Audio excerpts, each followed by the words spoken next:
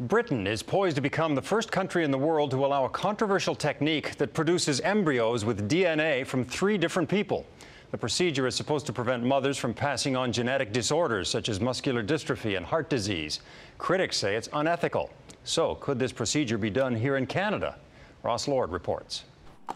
By all accounts, the research underway at top level British laboratories is a noble pursuit preventing babies from inheriting rare genetic diseases from their mothers. And what we're trying to do is trying to prevent the transmission from mother to child. For a woman with the cell disorder that leads to the diseases, scientists would take only healthy DNA from her egg or embryo, then transfer it into a donor egg or embryo that still has its healthy properties but has had the rest of its key DNA removed. The fertilized embryo is then moved into the womb of the mother.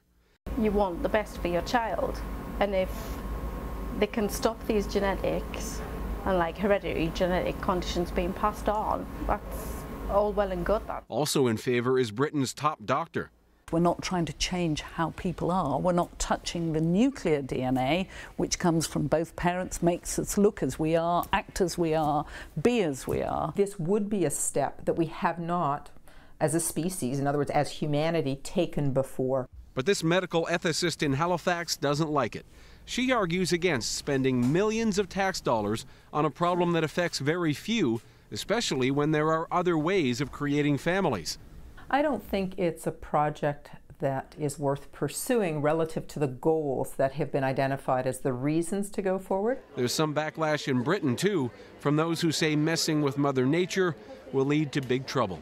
Once we cross that line, we will inevitably, step by step, slowly, slowly, uh, will get to that future that everybody wants to avoid of, uh, of the genetically modified designer babies and a, and a market in, in, in children. There's no movement in Canada to follow the UK's lead. It's currently illegal in both countries to modify DNA if the changes can be passed on through generations. But British lawmakers are working on draft guidelines and a parliamentary debate next year as the UK edges toward making medical history. Ross Lord, Global News, Halifax.